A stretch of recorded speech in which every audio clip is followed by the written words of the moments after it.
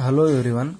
So in this video we are going to discuss uh, the master slave D flip flop.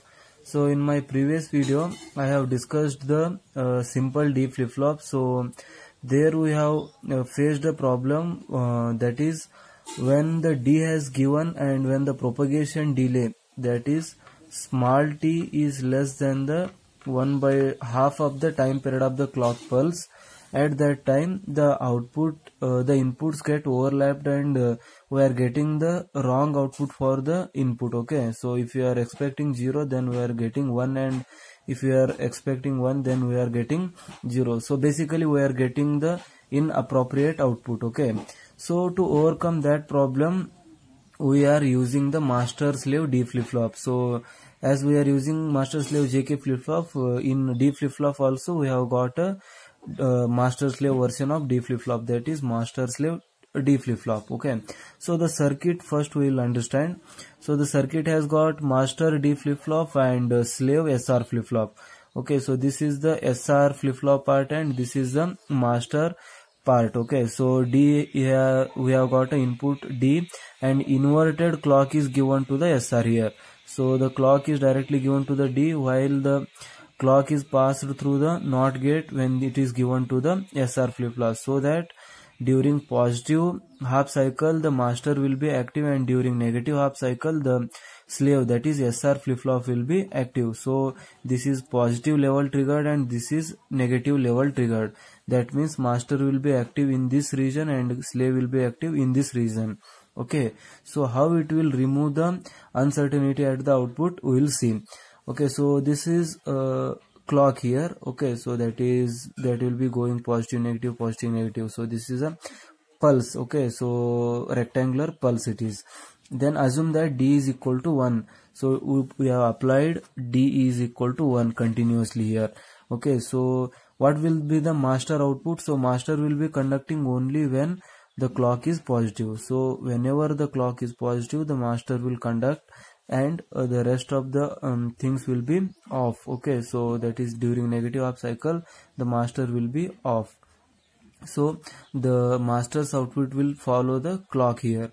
Okay so uh, this is again i have drawn the same clock here. So this is the same clock and what will be the slave's output? So slave will conduct when the negative pulse is present. So here the pulse is negative it will conduct. Again here it is uh, negative it will conduct here it is negative conduct. So in this portion it is not conducting. So it is equal to 0 here and it is equal to 1 here. Okay. So the final output uh, what will be the so the slave's output is the final output. So this is the final output and this is the uh, present input. Okay. So this is the intermediate state here. That is the master's output is intermediate. Okay. So this is the clock pulse. So what we have applied here and the output what we will be getting is the uh, this one. So it is having some delay because the input has to pass through all these gates and then it will be coming at the output. So all these gates have got some delay 700 nanosecond picosecond. So it will be in terms of nanosecond for 9 gates okay? So that time period uh, will be the delay. So the output will be having some delay as compared to the clock pulse so the output will be 1 uh, and when the input is 1 okay. So but they are having some delay here so that I have indicated here. Let us see the time period as uh, t. No, t dash we should say because t is the time period of the pulse itself. Okay so it uh, assume it as t dash. So like this uh, when one input one master is on the slave will be off. So both will not conduct simultaneously so you have given 1 here so you are expecting 1 so when one clock pulse is completely elapsed at that time only we will be getting.